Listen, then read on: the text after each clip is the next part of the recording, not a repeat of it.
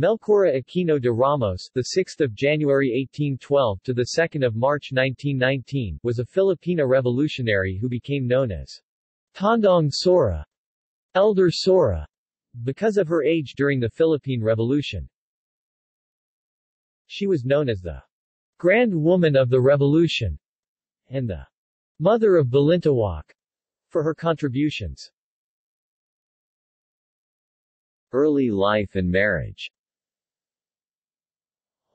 Aquino was born on 6 January 1812 in Balintawak, Quezon City, Aquino, daughter of a peasant couple, Juan and Valentina Aquino, never attended school.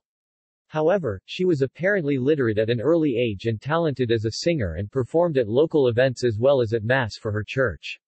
She was also often chosen for the role of Reina Elena during the Santa Cruzan a processional pageant commemorating Empress Helen's finding of the Cross of Christ, celebrated in the Philippines in May. Later in life, she married Fulgencio Ramos, a cabeza de barrio, village chief, and bore six children.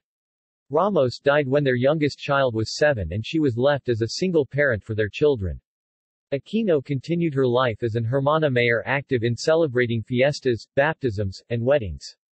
She worked hard in order to give her children an education. Involvement in the revolution in her native town, Tandang Sora operated a store, which became a refuge for the sick and wounded revolutionaries. She fed, gave medical attention to and encouraged the revolutionaries with motherly advice and prayers.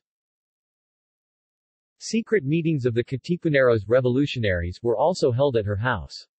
Thus she earned the names Woman of Revolution, Mother of Balintawak, Mother of the Philippine Revolution, and Tandang Sora. Tandang is derived from the Tagalog word matanda, which means old. She and her son, Juan Ramos, were present in the cry of Balintawak and were witnesses to the tearing up of the cédulas. When the Spaniards learned about her activities and her knowledge to the whereabouts of the Katipuneros, she was interrogated but she refused to divulge any information. She was then arrested by the Guardia Civil and was deported to Guam, Marianas Islands, where she and a woman named Segunda Puentes were placed under house arrest in the residence of a Don Justo Dungca. After the United States took control of the Philippines in 1898, Tandang Sora, like other exiles, returned to Philippines until her death on 2 March 1919, aged 107. Her remains were then transferred to her own backyard, now known as Himlayang Pilipino Memorial Park, Quezon City. Legacy As a token of gratitude, a Quezon City district and a road were named after Aquino.